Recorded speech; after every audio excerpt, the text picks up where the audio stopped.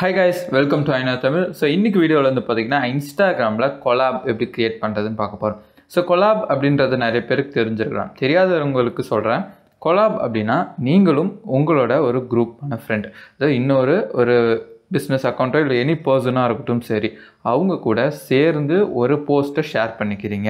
ரெண்டு பேரும் சேர்ந்து ஒரே போஸ்ட்டை போடுறீங்க. அதுதான் கொலாப் ஓகேங்களா இது எதுக்காக அதிகமாக யூஸ் ஆகுது அப்படின்னு பார்த்தீங்கன்னா ரெண்டு பேர் அக்கௌண்ட்டுமே வந்து அவங்க ஃபாலோவர்ஸ் இவங்கள பற்றி தெரிஞ்சுக்கிறதுக்கும் இவங்களோட ஃபாலோவர்ஸ் அவங்கள பற்றி தெரிஞ்சுக்கிறதுக்கும் யூஸ் ஆகுது.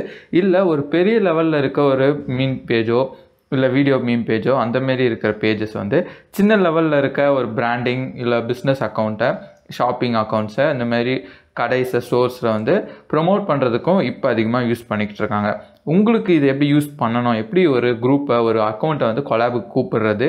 எப்படி அதை வந்து ஓகே பண்ணுறது அப்படின்றத how to invite collab in இன்ஸ்டாகிராம்னு இந்த வீடியோவில் பார்க்க போகிறோம் ஸோ அதுக்கு ஒரு போஸ்ட் ரெடி பண்ணி வச்சுருக்கேன். அந்த போஸ்ட் தான் இப்போ இருக்குது இப்போ நம்ம வந்து போஸ்ட் போட போகிறோம் போஸ்ட் பண்ணும்போது யாரை கூப்பிடணும் அப்படின்றத நீங்கள் முடிவு பண்ணிக்கலாம். ஸோ இப்போ இந்த எடிட்டிங்லாம் உங்களுக்கு தெரியும். ஃபோட்டோ செலக்ட் பண்ணதுக்கப்புறமா இங்கே வந்து பார்த்தீங்கன்னா உங்களுக்கு tag people add location create a promotion அப்புறம் அனதர் சோஷியல் மீடியா இப்போ ஃபேஸ்புக்லேயும் இன்ஸ்டாகிராம்லேயும் வந்து சேம் ஒரே நேரத்தில் ஷேர் பண்ணிக்கலாம் ஒரே ஃபோட்டோ ஸோ அதுக்கான ஆப்ஷன்லாம் கொடுத்துருக்காங்க. இப்போ டேக் பீப்புள்ன்ற இடத்துல கொடுத்தீங்கன்னா உங்களுக்கு ஆட் டேக் இன்வைட் கொலாபரேட்டர் அப்படின்னு ரெண்டு இருக்கும். ஸோ இன்வைட் கொலாபரேட்டர் போயிட்டு இங்கே அந்த யூசரோட ஐடியை நீங்கள் சர்ச் பண்ணணும் இந்த இமேஜ் பார்த்தீங்கன்னா ஐநோ தமிழோட அஃபிஷியல் பேஜில் போடுறேன். இப்போ இதை வந்து என்ன இன்னொரு பேஜ் பழைய பேஜ் ஸோ அந்த த்ரீ ஷேப்ஸ் அப்படின்ற அந்த பேஜ்க்கு வந்து நான் வந்து கொலாபெல் ஸோ இதான் மூவடிவங்கள் ஸோ அதை நான் இன்வைட் கொடுக்குறேன். இப்போ அவங்களுக்கு நான் ஒரு இன்வைட் சென்ட் பண்ணிவிட்டேன் ஆட்டோமேட்டிக்காக அது டேகும் ஆகிடும் ஸோ கேப்ஷனை வந்து நீங்கள் என்னென்னா போட்டுக்கலாம். ஆனால் நீங்கள் போடுற கேப்ஷன் இருக்கு. அதுதான் அங்கே வரும். அவங்களால கேப்ஷன் எடிட் பண்ண முடியாது. சப்போஸ் அவங்க வந்து உங்களோட இன்விடேஷன் வந்து அக்செப்ட் பண்ணிக்கிட்டாங்கன்னா அவங்களோட பேஜிலும் இதே இமேஜ் இதே கேப்ஷனோட இருக்கும்.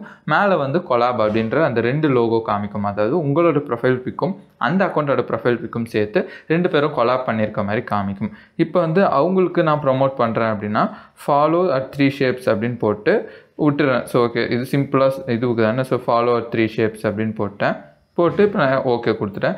இப்போ இது வந்து பார்த்தீங்கன்னா நம்மளுக்கு போஸ்ட் ஆகிடும் போஸ்ட் ஆனதுக்கப்புறமா ஒரு நோட்டிஃபிகேஷன் மாதிரி இருக்கும். அது வந்து நான் காமிக்கிறேன் எப்படி இருக்குன்ட்டு.